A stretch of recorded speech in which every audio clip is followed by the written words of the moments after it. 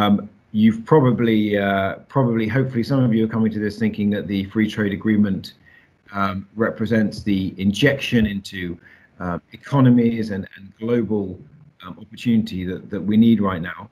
Um, or some may be on the skeptical side and think that it's a unwelcome distraction as as economies try to get back on their feet um, post COVID.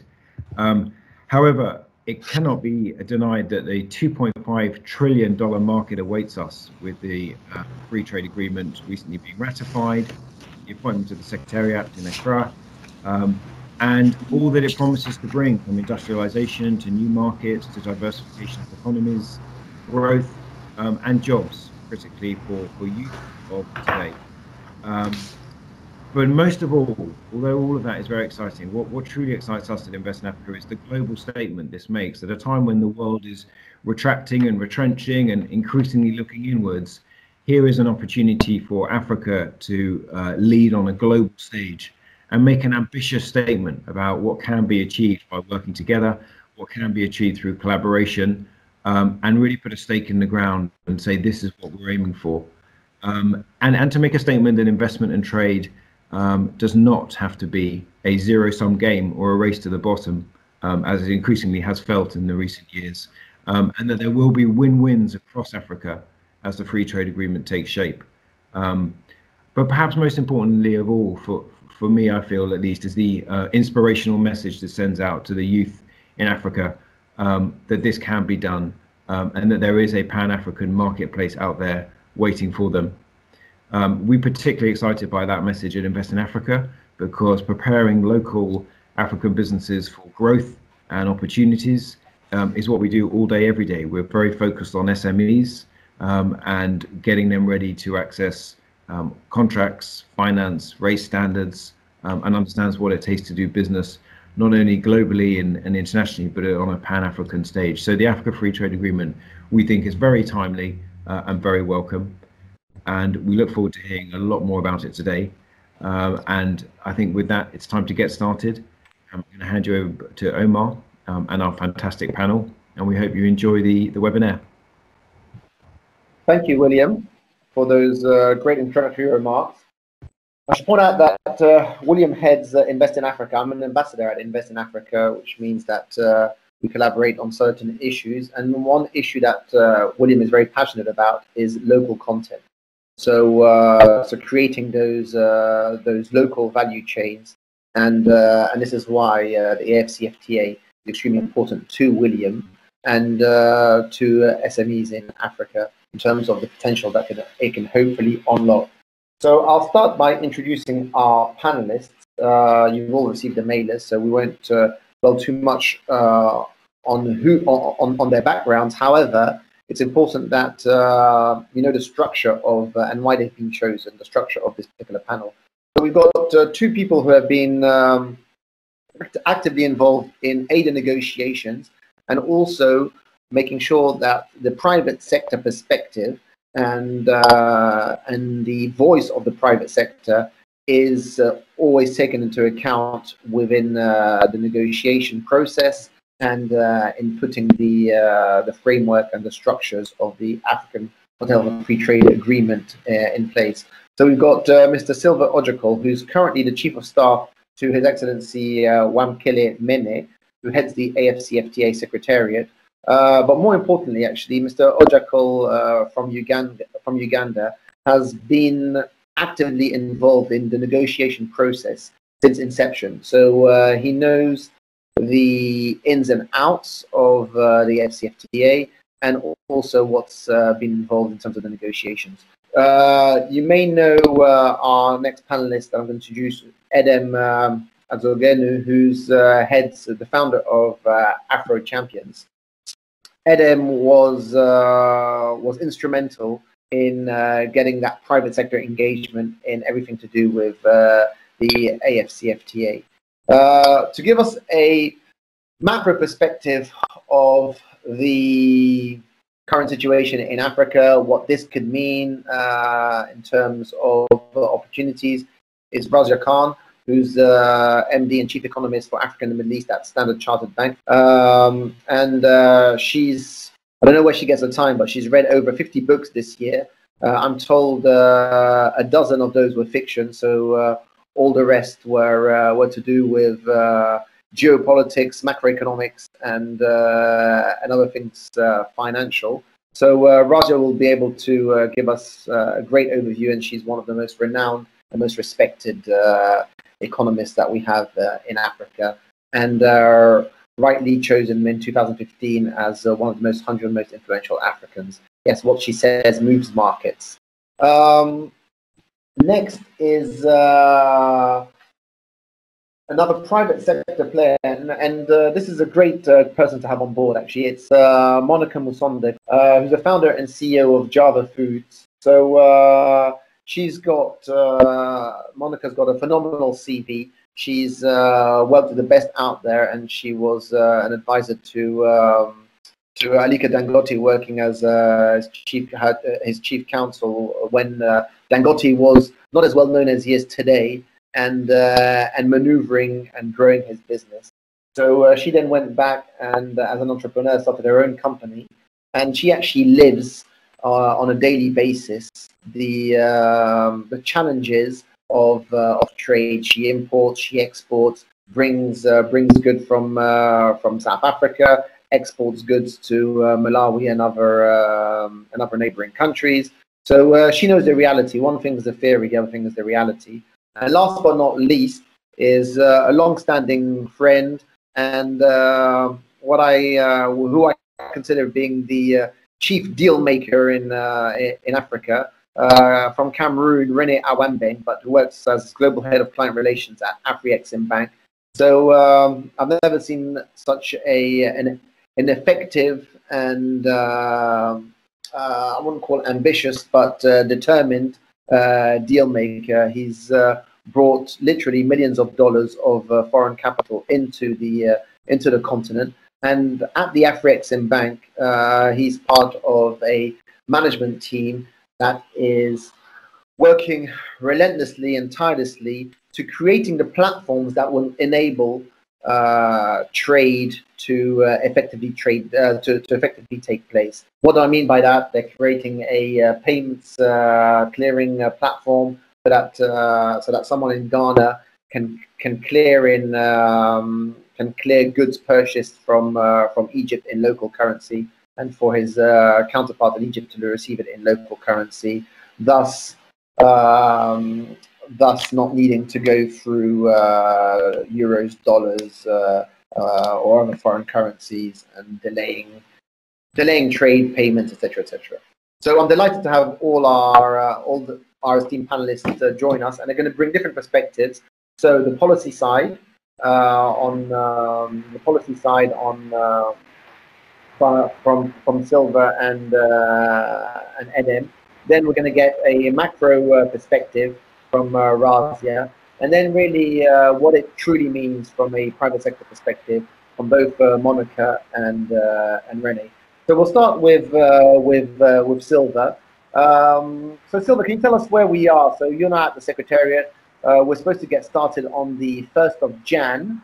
so how are we faring? Are we on track? And are you confident that the negotiations are moving in the right direction? And that they're going to be uh, effective on the 1st of Jan. Uh, I would like to thank uh, Invest in Africa for organizing this webinar.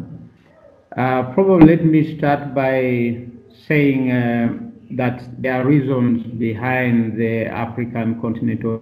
You know, this then running down to the 1980 Lagos Plan of Action to the 2000 um, the Treaty of Abuja that establishes the African Economic Community. So the African Continental Free Trade Area is um, an actualization of uh, the Abuja projects for the African Continental uh, for Agenda 2063 of the African Union. Now, what is it? Uh, why uh, was there a drive by the heads of state to fast track the establishment of the African Continental Free Trade Area. We are dealing here with 55 countries, some of them small, some of them big, And, um, you know, because of the balkanized markets, the division in markets, um, you know, you find uh, small countries of 1.2 million people with probably a GDP of less than $10 billion.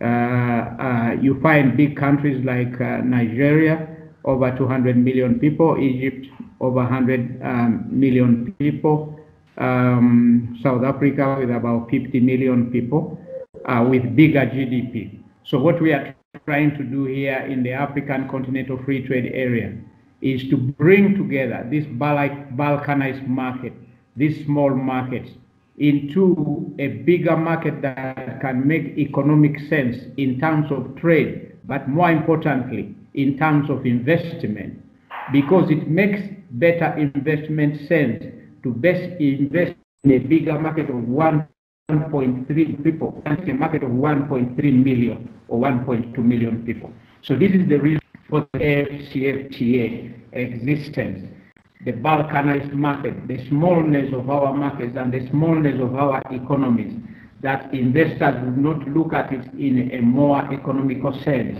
to invest in a small market. So this is the reason why we're there. And before we started, an analysis was done to find that um, in, in, in trade, intra-Africa trade, was in 2012 when we started to do the to talk about the boosting intra-Africa trade. The trade intra-Africa trade was about 11, 12, 13 percent maximum.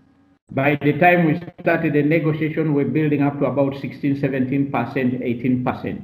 Now, what are we aiming to do with the African Continental Free Trade Area?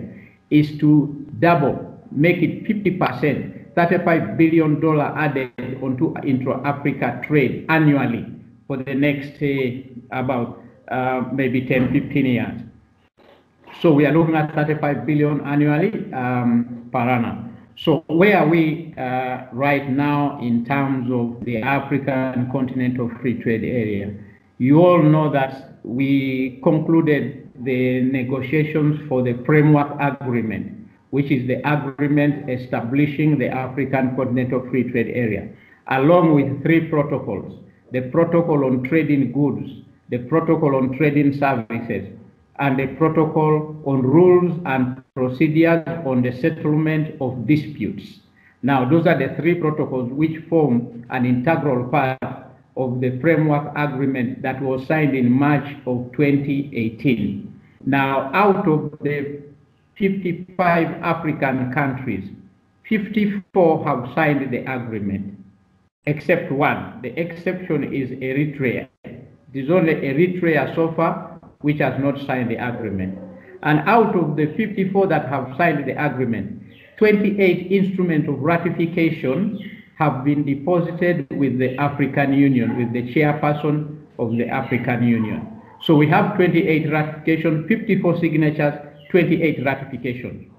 Essentially, in the spirit of the negotiations, it is the 28 that would now begin to actively trade on the 1st of January because they now become the state parties. It means they agreed to everything and their parliaments have endorsed the agreement. So we have 28 ratifications, 54 signatures, 28 ratifications. Where are we? We are also still in the negotiations of the tariff offers because the tariff offers have not yet been finalized. The modalities of the tariff offers were finalized in 2018, in November, December of 2018. The modalities for the tariff offers were finalized. And um, what do the modalities look like? The modalities say 90% of the tariff lines will be liberalized from the beginning of the trading. That 90% will be liberalized over a period of five years maximum. That means that if you are levying 10% duty on a product, on 1st January, you begin immediately to reduce 2% from the 10%, 2 percentage points go up. So that means that you are uh, you, you now levy 8% duty on that product because it's a linear um, reduction of, of, of, of, the tariff, um, you know, the tariff charges. So that is uh, so 90%. Then we have 7% which is classified as sensitive products. Now the 7% tariff lines are sensitive products which are to be liberalized over a period of 10 years to 15 years, depending on the category of the country, least developed or developing. And then we have 3% tariff lines which are exclusion, but which are as subject to review after five years. Now, so how are we going to achieve this? I have talked about the tariff liberalization, which we expect to start uh, on the 1st of January 2021 when the tariff offers have been made. So the tariff offers is what is right now standing in the way of beginning to trade. But we have this couple of months which we that in the two months and a half with the support of partners and the agreement of the member states that you know the the, the explored. Actually, next week there is a meeting to determine and to decide whether to continue the negotiations um, online in order that we have uh, something conclusive by the 1st of January 2021. I think for the time being, uh, um, Mr. Omar, I'll leave it uh, at that and I'll, I'll, be happy to field um, any questions. Thank you very much. Over to you. Thank you, uh, Mr. Ojako. If you can switch your cameras on speaker so that we can see when you're speaking. But I've actually got a follow-up question, Mr. Ojako, which is on the 1st of January, uh, so uh, next uh, next year, what's going to change for? All right. Uh, what will change on the 1st of January for um, African businesses is that uh, any product that is an African product or qualifies under the rules of origin will immediately begin to receive preferential tariff rates when those products get to the border. We have a, a practical example. You know, I was um, overseeing the implementation of COMESA in my country of origin, which is Uganda. And in, in the year 2000, the United Republic of Tanzania decided to pull out of the COMESA. And I was in a meeting and at the customs post at the, at the border of Uganda and Tanzania, I get a call from the customs officer at the border asking me what should we do with the Tanzanian products that have arrived at the border because Tanzania has pulled out of the out of the COMESA. Should the products continue to enjoy the preferential treatment or not? So as of the 1st of January, when the originating African products get to any border of Africa, of any African customs uh, territory, those products should immediately begin to enjoy the preferential tariff regime. That's what is going to happen on the 1st of January. Over to you, Omar. Fantastic. So I'm going to go to uh, Edem next to uh, to comment on what, or what Mr. Ojakol is uh, has said and what you expect from a private sector perspective to be uh, the benefits from the 1st of January. And if you can switch your camera on, please, Adam. Thank you. Uh, and as far as benefits, uh, we, of course, Afro Champions, which represents a multi-stakeholder enclave of various business associations and also organizations, uh, and also in collaboration with some of the DFIs who are our partners and members. We the expectation is that because it's private sector that trades and and and and, and governments really role in this and the member states is to really negotiate. Uh, there's a responsibility for us to understand and educate ourselves on uh, the benefits and the opportunities that CFTA offers and begin to encourage our partners and members uh, to, to sort of derive the full benefits of it. What do we expect to see? Uh, because the, uh, the, most of the SMEs, uh, as well as also the multinationals who cross-border operations and investments, uh, are moving people and are moving goods and are moving services all across the continent. Now, you'll imagine that in the last 15 to 20 years, we've seen the emergence of African multinationals, but also global multinationals doing business in Africa that have uh, integrated into markets and breaking a lot of the barriers to intra-Africa trade, uh, language, regional, among others. Uh, our sense is that uh, we should see more of those. And CFTA definitely affords us the opportunity to begin to see lower costs in doing business across borders.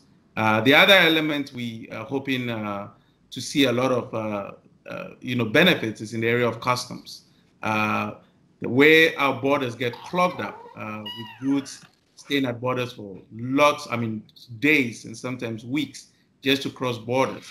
and for truck drivers who have to move sometimes going day and come back, and trips that are supposed to be done in say a day end up lasting a week. Uh, we are hoping uh, that this uh, implementation or operationalization of the CFTA will enable, uh, we'll see a great reduction in that and, and, and cause people to have. The final one is also is going to be in standards harmonization. I think for SMEs who are producing goods and are expecting to move them across borders but do not have the capital to go registering uh, goods in every other country uh, just to be able to move those goods and rather have to compete with other companies overseas who are able to bring their goods much cheaper and easier to those uh, those countries. Uh, we think that there's a benefit to be derived from uh, an SME in, uh, say, Togo, uh, uh, producing, you know, peanut butter, able to sell to Botswana without having to go through the rigorous processes of having to re-register those goods and products again. So standards harmonization, customs, uh, and cheaper uh, or, or, or, more cost-effective ways of moving uh, goods across the continent is what we expect to derive. Of course, we know there are still challenges in infrastructure. Uh, as you, we realize that a lot of the multinationals that were able to move goods and services across the continent had to go into all these countries individually to register their companies and deal with various regulatory bodies in those countries. Uh, we're hoping that the CFTA will uh, provide the opportunity for people to deal with regional regulators as opposed to having to go to all these regulators to get their businesses done. And you'll notice that it was already it was mostly services, like financial services, goods, um, I mean services, and also uh, I mean consulting businesses, financial institutions. They were the ones we saw moving across borders uh, very quickly, banks among others. But when it came to uh, the companies that were manufacturing goods, they faced serious problems in infrastructure, you know, because it, was very cost, uh, very costly to move goods from one country to the other without the right kind of infrastructure. So as investments continue to go in that area, uh, goods are still going to be a challenge. Uh, shipping, uh, 90, 80 to 90 percent of uh, our goods are maritime, and hardly any vessels uh, that are connecting most of our countries. So those are areas that we are still going to be facing challenges, but our expectation is that there's going to be reduced costs in moving goods around physical land borders, and more importantly, uh, in, in being able to uh, reduce cost in standards of products that you need to uh, uh register in other countries. Thank you. Tell me very quickly, uh, Adam, if I can stay stay with you. So um, the benefits from an SME, so uh, a business with like 50 employees based in, as I said, Togo or Ghana, I mean, when will they start seeing the benefits? It's going to take what six months before they get their head around it, uh, that they see the opportunity. It'll take a bit longer. And uh, and in terms of uh, GDP points, I mean, what are you uh, what, what are you ex- estimating over the next uh, six months, one year, two years? Quite hard to tell. I mean, it all depends on the uh, the efforts we put into sensitization and education, Omar. Because quite frankly, the the even up till now, I mean, we've been engaging, uh, you know, lots of uh, SMEs in various uh, industries. Uh, so if you take the cotton to textiles uh, industry, for example, uh, just by, you know, we talked about local content earlier, just by adding value to the kind of cotton that leaves Uganda and, and, and Kenya, I mean, in Uganda and Benin and Burkina and all these places to, you know, just by adding value trip. I mean, you we, we quadrupled the number of jobs we create and also the GDP immediately. Uh, but that value, that investment into value addition, is not taking place. The agreement that is being currently offered should give us the opportunity to that, but that people are aware of how they take advantage of those opportunities. So if I'm an SME in Benin or Togo, uh, my expectation from currently is that I'm able to sell my cotton. But if there's a deceleration in the demand for my raw materials, uh, which COVID now presents, it forces us now to look for new markets. And we've seen that happen with COVID, where people are now producing locally and and and and and, finding reasons to to add value to their resources locally to meet the demands uh, currently on the continent. So six months uh, all depends again on how informed they are. Uh, I think there's a lot more pressure now uh, with the current dynamics with COVID for people to look more within.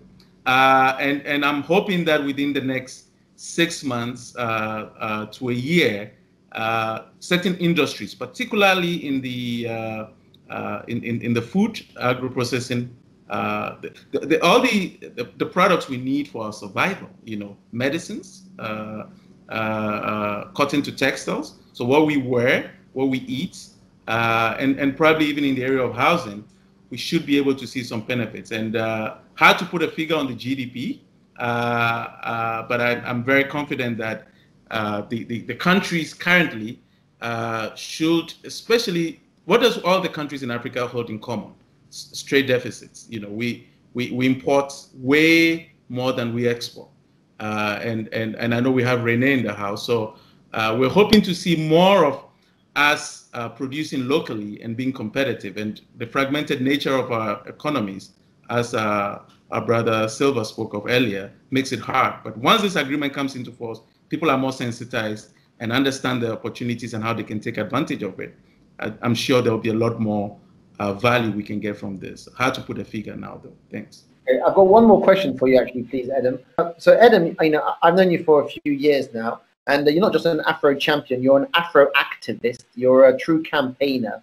So, uh, what do you want, what, or, or, what's the advice that you would give to business in terms of to make the AFCFTA work? It's not just about policymakers putting something in place and saying these are the rules.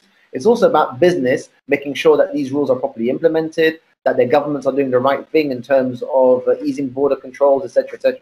So, what lobbying would you like to be done by businesses to make to make sure that the F- AFCFTA is a success ultimately? I think it's a brilliant question of mine. I think for me, that's probably the most important thing about this agreement.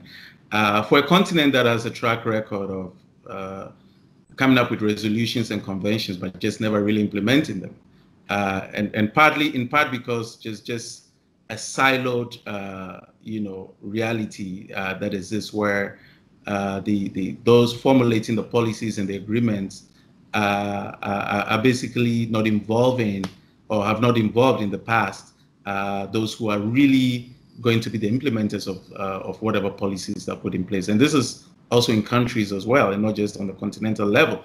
And you also have a situation where uh, you know those in the private sector continue to see uh, uh, those in government as just people who formulate policies, those in government seeing those in the private sector, people who just want to amass wealth and make profits as long as they don't see the agreements to be, I mean, as long as they see it to be inimical to their interests, in the typical case, it's a Yamoussoukro agreement, for example, for Open Sky, uh, there, there's no incentive for them to promote it, to implement it.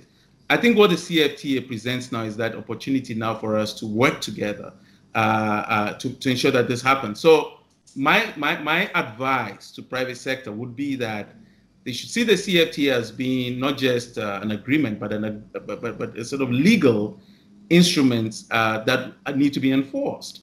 And, and, and, and they come with rights. They come with rights. And, and if the private sector can understand these rights and hold the governments accountable to these rights that are stipulated in the CFTA, uh, if, if we don't do that, you know, they, they, they're not going to be implemented. So understanding the rights and ensuring that governments are held as a very strong lobby vehicle. I mean, you look at the turnover of a country like, uh, I mean, a company like uh, Apple, uh, for example, uh, or, or, or, Amazon, you're talking about what, trillion dollars? but you look at the GDP of, say, a country like Kenya, for example, you know, 80 billion dollars, you know. So, I mean, th- there is a strong sense of bringing private sector together to influence these policies and agreements in a way uh, that inure to the benefits of uh, you know the, the, people and also make it important for them to also begin to bring those lower like SMEs and others within the value chains of these multinationals and make us competitive globally. So so understanding the rights is important, holding governments accountable to these rights and ensuring that uh, there's there's there's these agreements are, are not inimical to the interests of those who are supposed to be the implementers. And finally, in, in implementing these agree, I mean, uh, uh, these these agreements, there is also the need for uh, the, the, the, the constant collaboration between the public sector and the private sector to build also capacity so that the capacity that exists in the private sector can also be lent, I mean, or, or offered to the private, I mean, the public sector to ensure that they are also making sure that the rules that they put in place are in order to the benefit of those who have to implement them. Thank you. Thank you. Razia, I'll uh, come to you next, if you don't mind. If you can please switch your microphone on and the, uh, the camera, and the tech team will put you on our main screen.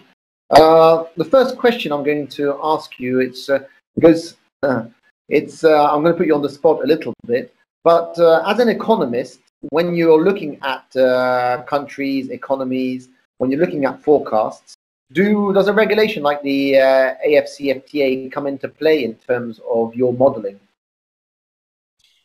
Absolutely, but I think at this point, with an unprecedented amount of uncertainty, it is very important to have a clear sense of what kind of a difference this is likely to make from the get-go, or whether it's a process that is going to take some time. The earlier speakers who have discussed this with us today have said very clearly the ultimate ambition is around the dismantling of those tariff barriers to create bigger markets that will over time attract hopefully greater investment lead to greater generation of economic activity all of that is important, but there's also a need for realism as to how much changes from the very outset. This is going to be a multi-year process of gradual tariff dismantling. As much as the intent to go in this direction is good, we also need to place it in the context of where Africa as a region is today. We know that as a result of the COVID-related impact, we are seeing much weaker rates of growth across a number of different economies. We're seeing outright contractions in the bigger economies, Nigeria, Q2 GDP, a contraction of 6%, South Africa being released just yesterday, very much concentrated weakness in the second quarter, but a contraction of as much as 17% for that particular quarter. The difficulty facing not just African economies, but economies globally at this point is how do you stimulate growth? How do you reignite demand? And the point has been made, it's a very fair point, that there is a big disparity in terms of the tools available to policymakers in developed countries versus developing countries. For countries that have the ability to put in place much easier monetary policy that have the ability to pump additional liquidity into their economies, have the depth of capital markets to be able to create much more of a stimulus, they have been able to offer more stimulus and more support to growth. In Africa, we know because of the weaker growth profile that we've seen in the region, it isn't just the impact of COVID. We have seen weaker growth since the late 2014 collapse in oil prices, we know that this crisis comes at a particularly difficult time. Not only were many governments under pressure to reduce their fiscal deficits, to achieve some kind of meaningful consolidation to bring down excessively high debt ratios, it wasn't clear what was going to be leading to that boost to growth. And this is where the Continental Free Trade Agreement becomes very important. What we're seeing globally is something of a retreat from globalization. The big concern is this ratcheting up of trade tensions. Whatever the geopolitical drivers, do they go away entirely? Can we say for sure that we're not going to see the kind of favorable global growth backdrop that we saw from 2001 on, when countries were integrating that much more, were trading that much more with each other. In Africa, there has been a very conscious political decision say this is beneficial for the region. Of course it is. One of the big drawbacks in terms of the ability to attract FDI has always been the relatively small size of the different economies and the fragmentation of those economies, it becomes very difficult to offer to potential investors the scale opportunity. Costs are high, there are a great deal of frictions, it becomes that much more difficult to do anything. Just the intent to dismantle that is good, but there needs to be a sense of realism that this is going to be a multi-year process of tariff dismantling you do not get the instant difference being made to growth prospects on January the 1st, 2021. It also comes against the backdrop of a very deep economic crisis, and even though over the course of 2021 we'll likely see a technical bounce in growth, we know that the medium term looks a lot less certain. All of that said, the world economy, African economies are in need of additional stimulus, and liberalizing trade is an excellent way to be able to try to put in place the building blocks for future activity, future demand growth, future economic prosperity. Uh, I've got a couple of questions or confirmations, let's say. The first one, so really, the biggest challenge, I mean, the FCFTA is great. Uh, and from an economist perspective, we need to make sure that, uh, oh, we need to see it work before we can assess it. But really, what we definitely need to work on as different African economies and governments is uh, how we're gonna, where are we gonna get the money to uh, to put these fiscal stimuli in place uh, across uh, uh, across the continent. That's a very good question. So the big issue, of course, is that space to provide the stimulus. Central banks across the region have reacted very well in terms of the monetary easing. They have tried to make the conditions for credit growth that much easier. The problem is when faced with a shock like this, demand for credit is necessarily going to be weak. What is needed is the creation of some kind of confidence, the belief that there is something positive happening that is going to lead to greater opportunity and will therefore generate in itself the demand for credit. But you raise a very key point, and this is we've seen almost across the board a sharp fall off in fiscal revenue there were concerns around how African economies are going to be able to achieve the fiscal consolidation in the past. Now the big concern is, well, the situation is made that much more difficult. And this is where market access becomes all important.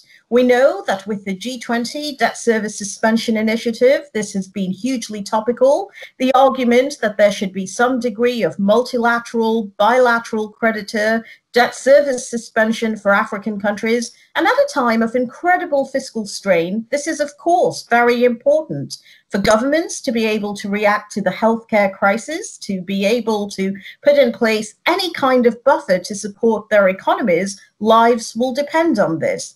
But there's the bigger issue to be addressed, which is how do you regain the confidence to ensure ongoing market access for borrowing countries? Which arguably is as important. Now, there's been a lot of debate about the nature of private sector participation. It's very difficult to arrange with private sector creditors when the time frame is so short. There's also the very important issue of whether this might be construed as a default and therefore have longer term adverse consequences for borrowing countries. But at the same time, we also know that an unprecedented amount of liquidity has been created by global central banks. This is being pumped out into their own economies in the first instance. Some of the recent equity market strength that we've seen is a sign of this liquidity. And eventually, that same liquidity is going to be seeking out higher returns. This could be a key opportunity for African economies. We know that spreads have narrowed meaningfully since the heightened volatility that we saw in March, perhaps at the peak of the COVID crisis. And this reflects the policy response put in place. But we haven't yet seen significant new inflows into the debt markets of different African sovereigns. And we haven't yet seen any new issuance from a sub Saharan African sovereign. And this is the concern. How open are markets really towards that borrowing intent? When do we see a proper normalization of activity?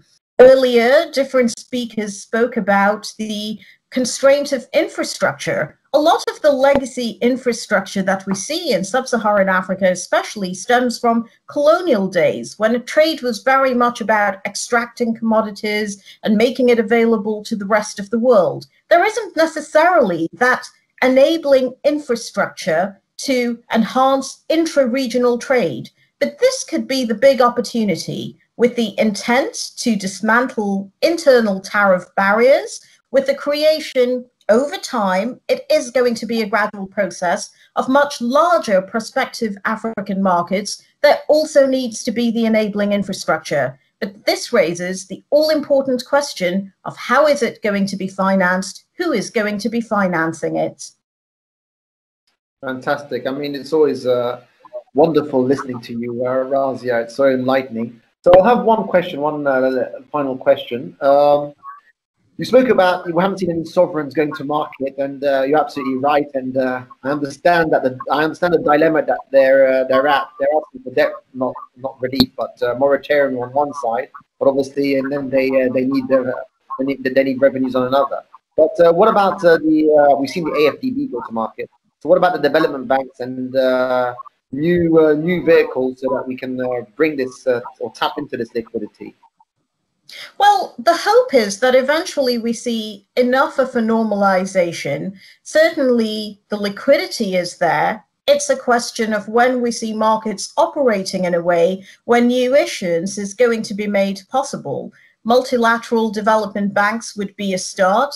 But the hope is also very much, given where the infrastructure has to be built and where the costs are likely to be borne, the hope is that individual sub Saharan African issuers will soon be able to tap into this. This is a key point for investors. If we're looking at the broader medium term drivers for growth, something meaningful is changing in Africa. We've long spoken about some of those long term drivers the demographics being favorable, the pace of urbanization, people, entire populations moving from lower value added activities to higher value added activities, the trade liberalization that is proposed is potentially a very important driver of future growth trends. And to the extent that that improved growth prospect can be built into expectations, one would fully expect it to have some bearing on the ease of being able to borrow. I think you had a question, Omar, around the risk premium that investors currently demand.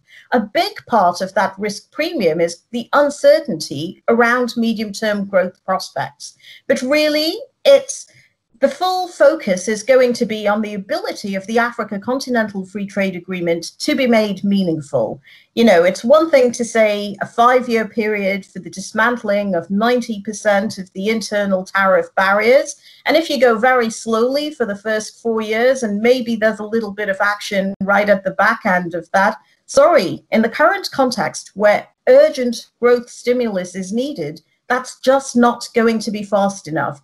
So, very much looking forward to hearing from Monica and other private sector participants about how this might be changing their investment plans at the very outset. Are businesses in Africa seeing considerable change, rapid enough change, for this to be able to lift activity, to lift economic momentum in the near term? This will be closely watched by many different participants. Fantastic. Thanks for asking my next question. So, Monica, the floor is yours. Uh, so, really, I think what uh, what Razia wants to uh, know is how will the AFCFTA change your outlook in terms of uh, investment, also in terms of uh, raising capital to grow your businesses. So, what uh, what are you planning for? And also, if you can talk us about the difficulties exporting to Malawi, importing from South Africa that you mm-hmm. face given the the current new normal, the current realities of regional trade during COVID. We can please go to uh, Monica. Um, thank you very much for those really great questions and actually for Razia for actually setting the platform.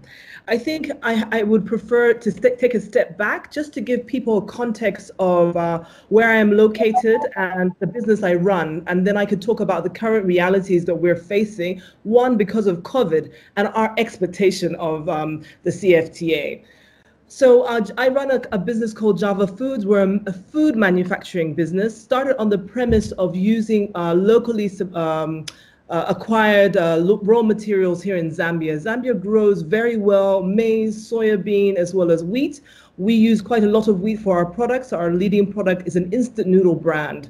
But to give you context, um, Java is the only instant noodle manufacturer in Southern Africa outside of South Africa. So Java Foods, when we set up the business, was very well placed to look at a wider market. Zambia is a very small population, about 18 million people, but our, our, our discussion with our investors was actually we're looking at the Southern African market where we, we, do, we do not face competition. So e easier said than done. And this is pre-COVID, of course when we started uh, looking at exporting, what we were really faced with was every country had different standards for food had different standards for labeling and packaging, had actually, they wanted certificates of conformity even before you exported. And every export had to be accompanied by this certificate of conformity, which cost $250 in some countries per export, right? Um, and then you had to go through the long paperwork, depending on which border you use, depending on your transporter, and sometimes your goods were stuck at borders. So, in actual fact, the great dream was actually frustrated because Zambia being landlocked, we have actually nine uh, countries surrounding us. It seemed practical and a great idea, but it was actually really hard to implement. And of course, this year we're faced with COVID. And what happened for, for us is that there was a unilateral closing of borders around us. And we are a key importer of inputs for a lot of our products. And they became and there was this great fear about how we were going to then feed not only Zambia, but some of our customers outside of Zambia if we were not able to actually bring in inputs into Zambia because our neighbors were acting unilaterally. We were not discussing how there was going to be a movement of goods into countries, particularly for food, because of the fear of COVID. This has had lots of impacts not only on supply chains, but on things like depreciation of the currencies. As you know, a lot of the currencies in, on, on the continent, particularly in Southern Africa, have depreciated. Zambia as much as 30%. And this has a huge impact on, um, on food imports because many of the countries in Southern Africa import food.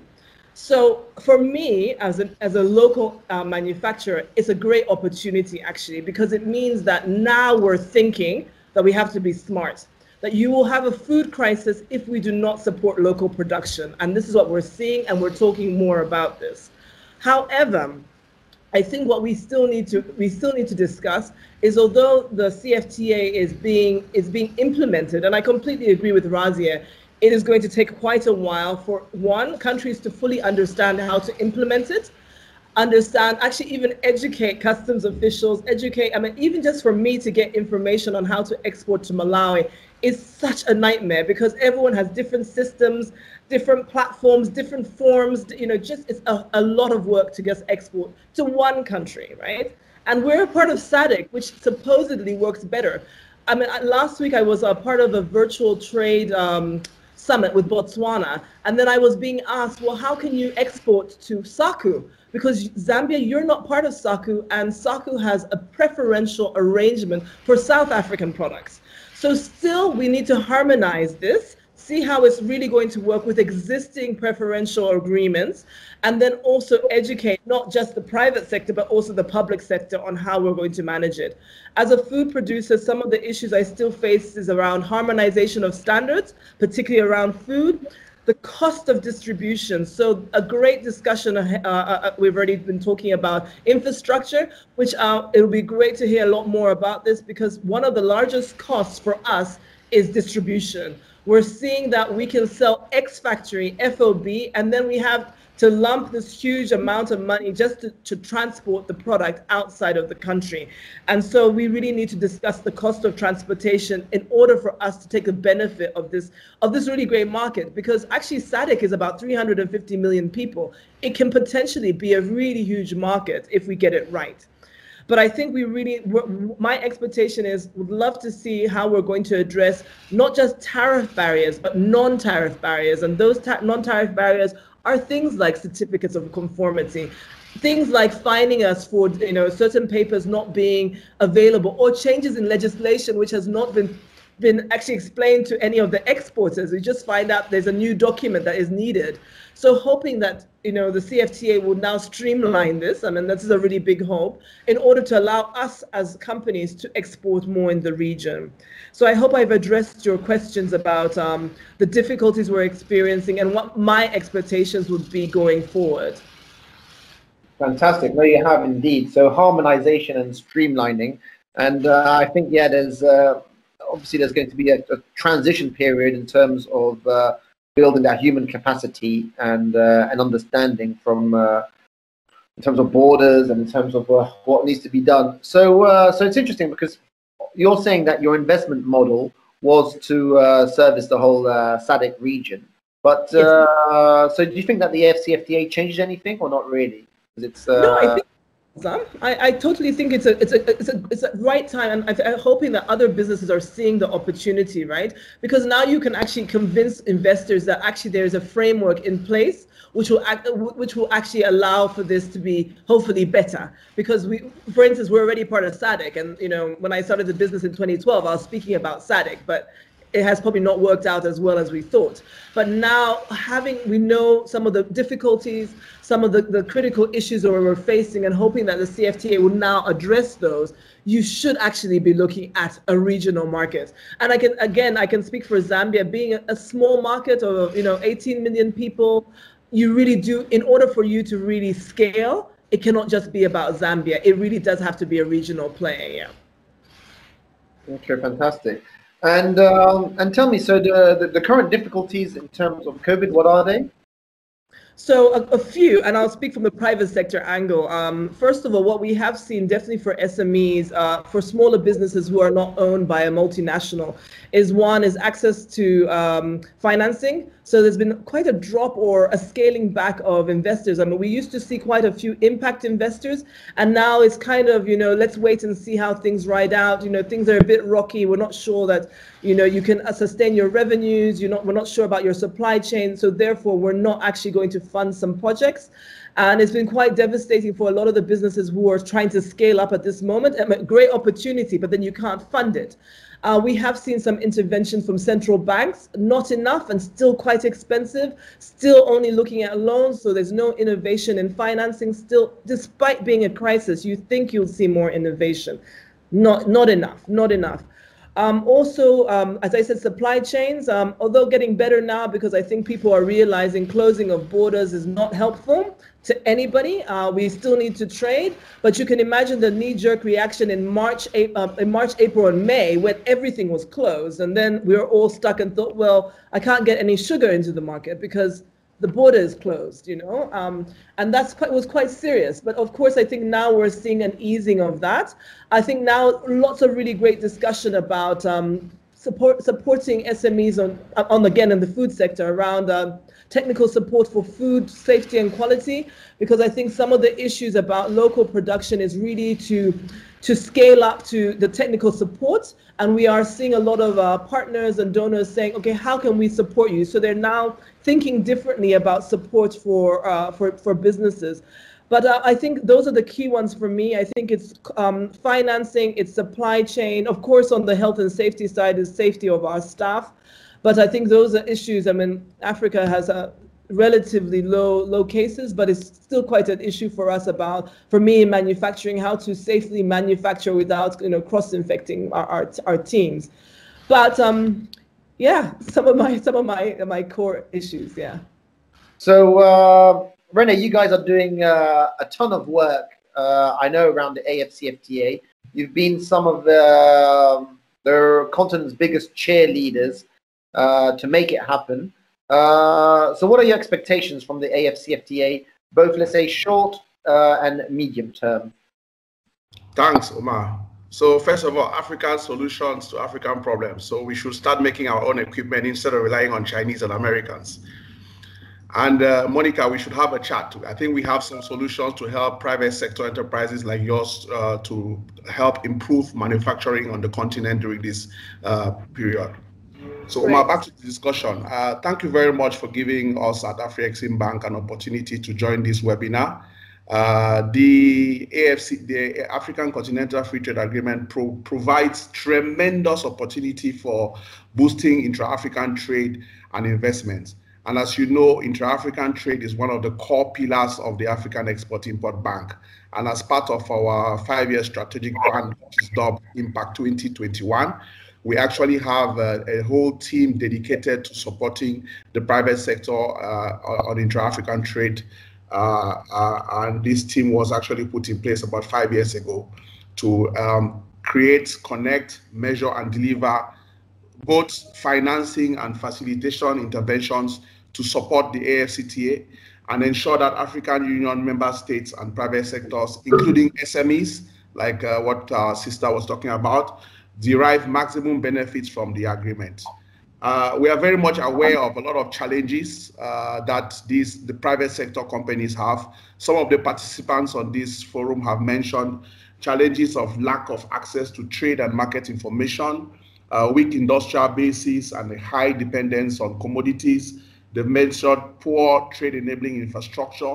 We all know that the gap of financing of infrastructure in the continent is about $110 billion uh, for power, for transport, for airports, for seaports, for rail. Uh, poor trade facilitation. We all know the issues around customs and logistics on the continent, payment and settlement issues. And I would, when I talk about the interventions of the bank, I'll tell you about what we are doing on the payments platform. Uh, limited access to trade finance. Uh, the gap for trade finance on the continent, again, is estimated about $120 billion uh, a year. Historical trade patterns, uh, informal trade, 40% uh, of the trade on the continent is around informal trade. Some estimates say between 70 to 140 billion dollars. Lack of quality infrastructure. We've seen again on this call the lack of harmonized standards and very slow implementation of regional uh, trade commitments. However, I mean, uh, working with the African Union and our partners at the uh, African Continental Free Trade Secretariat, the bank has put in place a number of interventions and support programs to able to help the private sector. First of all, these are some financing initiatives. Uh, we have some funding in terms of loans, in terms of guarantee programs uh, to able to support the private sector. Uh, we actually put ourselves a target of about $25 billion uh, to support intra-African trade as part of the AFCTA. Uh, the bank has been working together with uh, central banks to put in place an African payment platform, a Pan-African payment system called PAPSS. The pilot of this project has been launched uh, with uh, West African, a number of West African states uh, in, Ghana, Nigeria, Guinea, Conakry, Liberia, Gambia. They're doing a pilot of this where African countries can now pay for goods and services using their own currencies and the African Export-Import Bank will clear. We hope to expand that payment system across the whole continent as we get more and more uh, central banks onboarded. Uh, trade information and promotion, the bank is also putting in place uh, a trade and information uh, platform to enable to provide market uh, market information to private sector players. Uh, we've done some work on uh, the due diligence and compliance, which is actually uh, uh, inhibiting trade on the continent. We put in place a platform called MANSA uh, to help banks, foreign investors, local SMEs, and corporates to be able to know who to trade with in the various geographies on the continent. Uh, for the governments and the private sector also, we are working with the Secretariat of the Continental Free Trade Agreement to put in place uh, what we call the AFCTF Adjustment Facility. This facility is available both for public sector and private sector uh, to the governments and ministries of finance to help them, those who are going to have a shortfall from fiscal revenues, and for private sector to help them put in place the capacity in terms of capital equipment to be able to start producing locally for export into the regions. Um, uh, we talked a lot during this conversation around uh, the challenges with customs and borders. The bank is putting in place an uh, African uh, collaborative transit guarantee scheme. Uh, if you take some of the landlocked countries to move goods from one country to another one is quite a challenge. You have to go through a number of custom borders we are trying to put in place a seamless guarantee scheme where uh, one guarantee program will enable you to the different borders and avoid the complications with uh, custom systems. Uh, also, we, we cannot have uh, we cannot uh, produce without selling. The bank is helping uh, African champions uh, to be able to build an export strategy. If you look at what happened in the Far East, uh, in places like South Korea, uh, they built their economies by having export trading companies who, will, who would agglomerate the production of the countries and be able to sell them. So we are helping uh, some of our regional champions to build export trading companies to serve as platforms for uh, exporting their goods domestically and also across uh, intra the intra-African continent. Uh, we are working with the Secretariat also Uh, on policy and harmonization of standards for trade. Uh, we are working on uh, uh, trade carrying infrastructure. we're working on railway projects. We're working on shipping and logistic projects. one-stop border posts, which will all help uh, the trade on the continent. The bank also engaged with a number of automotive players to put in place an automotive standards and strategy for the continent. So a lot of work is being done to ensure that we do reduce the uh, importation of second-hand cars and things like that on the continent and start building a manufacturing base for automotive on the continent. We're working with uh, some German companies uh, on this in Ghana, in South Africa, and in Rwanda, for example. Um, uh, uh, we are also looking at a center of excellence on how to export. As part of our industrialization and export development strategy, we are supporting countries to build industrial parks uh, in Cote d'Ivoire, we have industrial parks that are going on. In Nigeria, we have some. In Malawi, we're looking at building some industrial parks. I think in Togo, we also have some that are also being planned. In Gabon, also, we have some industrial parks we are working on.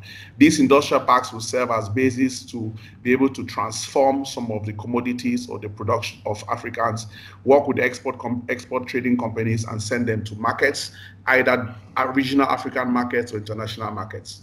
Uh, you all know what we have done uh, in terms of promoting African trade. We did the first intra-African trade fair in Cairo, in Egypt, I think in 2018, which was hugely successful, bringing together over 32,000 players exhibiting their goods and services.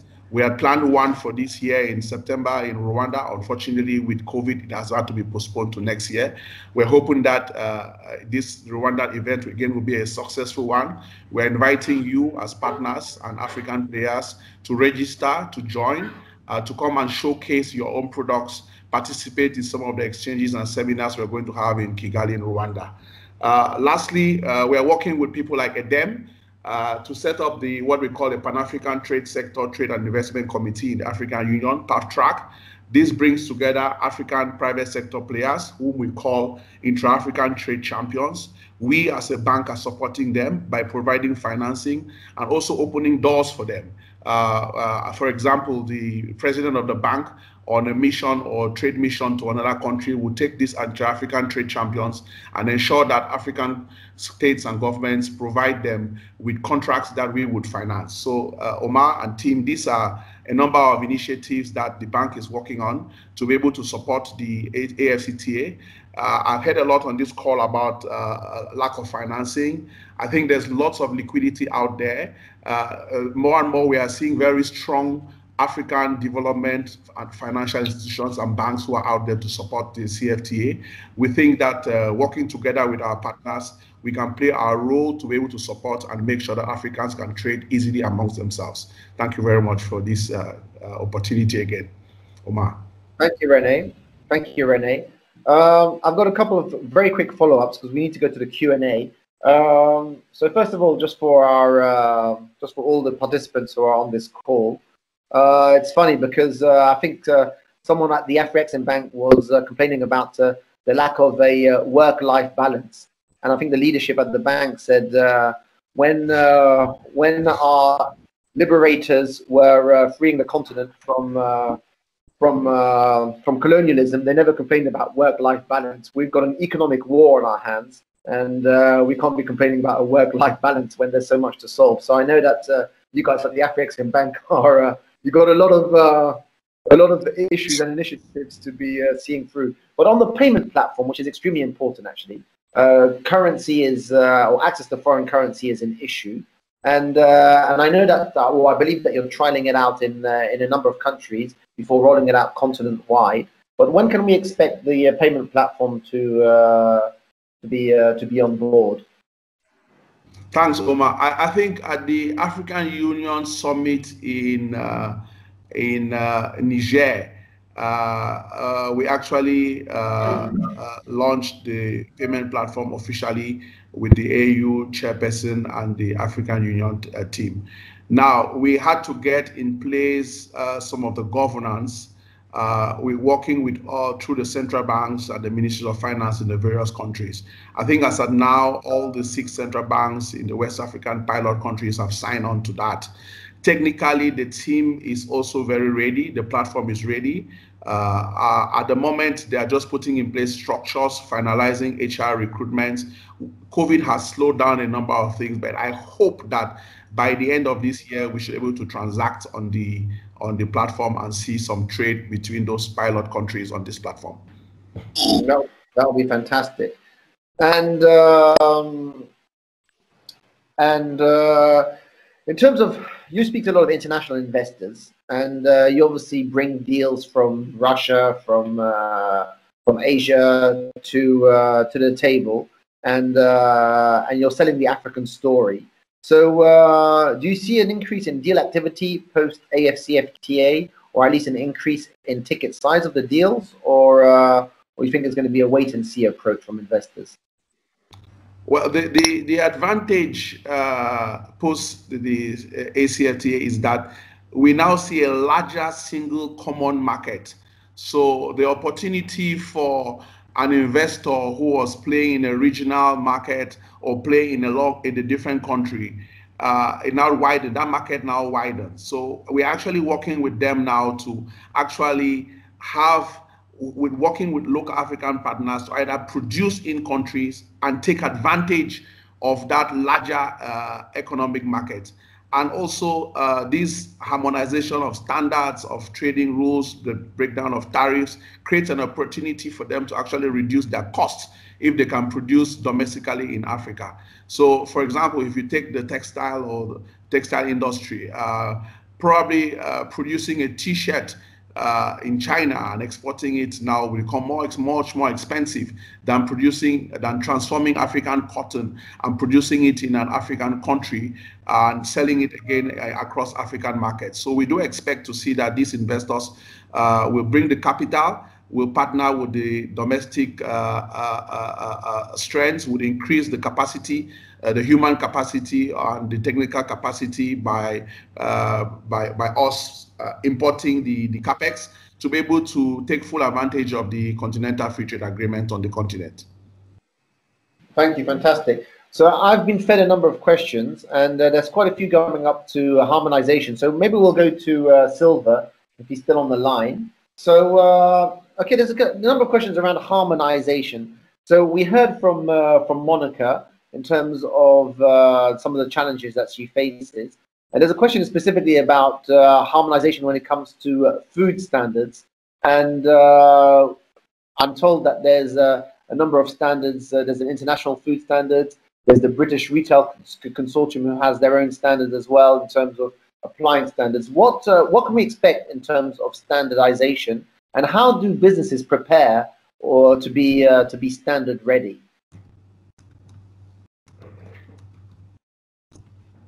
Okay, thank you. I, I, probably uh, in answering that question, uh, I would like to first of all say that uh, this uh, on um, sanitary and phytosanitary measures uh, under the protocol on trading goods. And that annex specifies a number of things, including um, mutual recognition, of conformity assessment process uh, and so on and so forth. And we expect to have, like my colleague from the Afrexim Bank has uh, explained to you, we, uh, we our priority program uh, of the AFCFTA uh, for 2021 we have a, a, a, program to look at the harmonization of standards why this is critical, uh, like uh, Monica Musonda put it, is critical because in the end, if we do not harmonize the standards, this becomes a non-tariff barrier. We've seen it, uh, you know, happen in a number of uh, in a region where I, I come from the East African the harmonizing of standards that will ease the flow of you know products produced um, from the different member states across the borders. Now, how will it work? We have to bring together the Bureau of Standards, first of all, to gauge what are the capacities that are existing in each Bureau of Standards of each member state or of each region. We also need to look at the RECs. What are the legal, regulatory, and institutional frameworks that the RECs have done in terms of harmonizing of standards and what are the best practices that we can pick from the regional economic communities and transpose them to the African continental free trade area. So there are a number of things that we need to do, bring together the Bureau of Standards or the Ministries of Agriculture that are looking at the area of sanitary and phytosanitary measures, including technical barriers to trade, because if we are talking about packaging, different countries have different packaging and labeling requirements. So we need to look at uh, the institutional, the regulatory frameworks, and begin to see how we, can uh, bring harmony. Um, if, for example, uh, one country is producing dairy products. Uh, maybe you have five, six, ten countries in Africa that are producing dairy products. Is the standard of the dairy products produced in those different countries the same? What are the conformity assessment procedures for, you know, are they in tandem? Can they, can they be said to be equivalent so that you can then have what you can call a mutual recognition agreement that can say, yes, the, the, the, the conformity assessment procedures that are used in Uganda, are used in South Africa, are used in Nigeria, are used in Algeria and Egypt are the same. And then you have a mutual recognition agreement that can say this is, and that is how the harmonization would work. But we have to bring together the key players, um, including the, the Standards Bureau, plus the African uh, regional standards organization uh, because that is critical. We have a regional body, we have an African body in the in the in the name of African Regional Standardization Organization, so that this effort can be spearheaded. So this is how uh, I think that it can work. Uh, over to you. Thank you very much. Fantastic. And uh, so we've got one question for uh, for Edem, and unfortunately we can't take any more questions from uh, from the participants. But um, so the maritime sector, uh, you mentioned it in your um, in your statement, but uh, is the, are we seeing enough reform or enough activity in terms of reforming the maritime sector to uh, because as you mentioned, it's uh, it's an important uh, player that uh, or it's an important component to unlock the benefits of the AFCFTA. So Edem, you mentioned the maritime sector. Someone wanted a bit more clarification in terms of what's being done it to really benefit the AFCFTA and uh, the movement of goods within the within the continent as well. Indeed, there and thanks Omar and uh, to Epileng uh, for the question. Uh, I must say though that Epileng is one of our proud Afro champions who is actually leading uh, an effort uh, to ensure that she's done a lot of work in that sector. For, for like I said, for 90% of our goods Uh, uh, that trade uh, are maritime, uh, are moving on the maritime industry, and and hardly do we have Africans owning any vessels that are moving intra-country. I think it was Razia who mentioned also that our, our infrastructure was built to be able to move goods outside of Africa from mining companies, from plantations outside of Africa, but not to move within Africa. Uh, so one of the quickest ways to be able to start moving goods is really by air because all you really need is a runway. Uh, if we can start getting open skies to really work, uh, and also to be able to move goods by ships. And, and I must say, Afro Champions is, is, is putting a consortium together currently uh, uh to, to partner uh, and have a stake in an international uh, shipping company that will focus mainly on moving goods or aggregating goods across the uh, continent before taking outside and also be able to bring goods from outside. Uh, just to move goods currently from a country like, uh, uh, say, Kenya or Mombasa uh, to Central African Republic. You have to literally take it all the way down to Cape Town, uh, bring it all the way past Mombasa, all the way to to to to Douala, and then track it all the way to Bangui. Uh, it's just, I mean, so the cost implications are horrendous, and and, and no matter how much tariffs, uh, you know, those things will just continue to stay on paper until we're able to put investment into that particular sector. So airline industry for sure, freight, to get us started whilst we're building the infrastructure, but maritime should be a no-brainer. And I'm happy to say that we've started some work in that area. And by the end of this year, but when goes start, we should be able to have start having some vessels moving on the continent, uh, particularly in that space. Thank you. Okay, thank you. So unfortunately, I'm going to have to bring this to a close. Uh, maybe we can have uh, final comments from uh, each of the panelists. We'll start uh, with uh, Monica, and what we can say is, are your expectations positive, moderate, or negative in terms of come 1st of January? Hmm. Let's say I'm optimistic right? I think what we I would like to see a lot more is a lot more engagement uh, from the public sector as well as the private sector, so we understand uh, what is happening. Um, we educate um, key players, understand the the opportunities, understand what's what's still to be done, understand if it's going to be um, sort of uh, what's the word I'm looking for? If it's going to be phased as well, um, and therefore we, we see the opportunities and we work together to create those opportunities. But I, I wanted to say thanks very much for having me, um, uh, sort of to give a practical perspective of what's happening on the ground, and definitely would look forward to hearing more about financing. I love the way finances always say there's so much money. Come and ask us. We'll tell you how hard it is to access it. Um, uh, Rene, uh, it's been an interesting and challenging year. Uh, so, but are you optimistic in terms of 2021 and in terms of what the FCFTA can do? Uh, moderate or uh, or negative in terms of next year and, uh, and the FCFTA? You can't be negative, but anyway, go for it. Omar, we don't have a choice.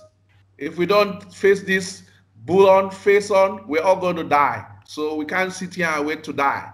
We have to do something about it. So we are very bullish uh, we are very positive. These challenges will come to pass by. We have to be strong as a team, as a family, as a continent, as a people, and stand together as one to find common solutions to our problems.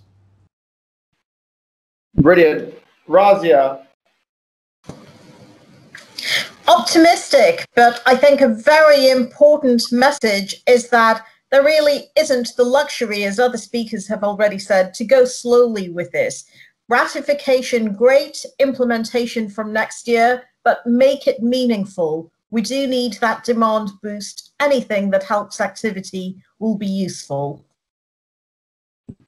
Brilliant. Uh, we'll go to uh, Silver first, and then we'll end with Edem. So, Silver, in terms of what you've just heard now, uh, do you, are you optimistic that we can make it meaningful and uh, and effective and uh, solve some of the challenges that uh, or the constraints that we've uh, that have been raised? Thank you very much. Uh, again, let me say that there has never been a better time and a better instrument for Africa. This is the time. This is the instrument.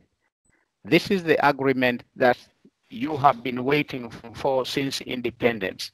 And I would like to ask to urge the private and the banks in Africa, Afrexim Bank, African Development Bank, the central banks, the regional development banks, and the private sector itself to be able to push the governments through your respective sector associations, push the governments, push the governments of the member states to shore up the private sector. Actually, COVID-19 is an opportunity for Africa. We also the disruption in the supply chain. And I think that this is the time to utilize the AFCFTA agreement to revamp our production systems, to revamp our infrastructure interconnectivity, and to trade better among ourselves. That's what I can say. Thank you. Edem, you've heard from uh, the previous uh, panelists. What have you got to add to that? Only thing to add is that you know rather than look at all the reasons why things should not would not work, we should keep looking at the reasons why it must work. Have at the back of our minds what will happen if we don't, uh, and and get a sense that now there's some strong political will uh, because what the aid market has dried out. Uh, you know the the usual people would go to looking for support, are all trying to figure out how to keep the oxygen mask on their face first. Uh, so I think we have no choice but to look within. Uh, my optimism, optimism is driven from the fact that there's also a burgeoning explosive uh, youth population that is uh, emerging on the continent that is really well informed and want to compete. Uh, and why shouldn't Africa be uh, the continent that has the youngest population in the world, be the center for the most freshest and useful ideas necessary to integrate and unite us? So I feel very confident that uh, with, with the right partnerships, as, as we see happening currently between public-private sector, uh, we should make this happen. Thank you. But, but, but the message for Monica would be what?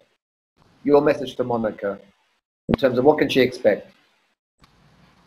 Well, let, let, let's let's let's do exactly what uh, I've said earlier and others have also said, which is that hold our our our governments accountable. Because remember, you're the ones providing the jobs. Uh, governments don't trade; it's companies that trade. Uh, so if there's a free trade, uh, you're the biggest beneficiary, and the rules that governments are putting in place must favor you. And the more people who join Monica uh, to be able to advocate to ensure that uh, we don't have to start filling uh, 20 forms, you know, uh, just going from one country and registering so many products so many times. Uh, it holds the government hostage because once people can understand that when you distill that, it affects their day to day. It affects the fact that they have to go queue at hospitals and not have access to basic medicines and all of that. They, they elect the governments, but the government must be held accountable to the rights and rules that they put in place. You know, and we cannot sit back and just uh, complain anymore. I think that's become a problem of the past, and that's why I'd like to thank also uh, Invest in Africa and uh, all of you, Omar, for putting this together because it, it, it helps us move from uh, defensive to offensive, from obscurity to prominence, and, and, and, and, we must keep doing more of this. Thank you. Thank you. Thank you, uh, everyone. William, over to you for your closing remarks if you want to say any uh, anything. Thank you, Omar. Um, only to thank the panel um, and to reiterate the point earlier that uh, this this is a, a, genuine opportunity on a, at a time when the rest of the world is looking inwards for Africa to truly lead on the global stage and set the tone and, and show that these sorts of deals can and will be done in other way forwards um, and that we will create together multiple wins across the continent. Um, and it's exciting for you know organizations like ourselves where we work with corporates, we work with development bodies and donors to drive SMEs forward and, and ultimately create jobs um, because that's what this is all about opportunities, jobs, and growth. Um, so we're really excited by it. I'd like to say a huge thank you to all of the um, panelists, uh, the star-studded and, and, very senior lineup you, you, pulled together with us today, Omar. And thank you to you two for steering us through. Um, and all, the, all, of those who've been on the line. I know it's not ideal doing these things virtually, and the sound sometimes hasn't been great. Um, I'm sure we've learned a lot through it too. Um, but thank you for your time, everybody. And we look forward to an exciting year ahead and getting out of COVID and focusing on, on better and, and more productive times with the free trade agreement.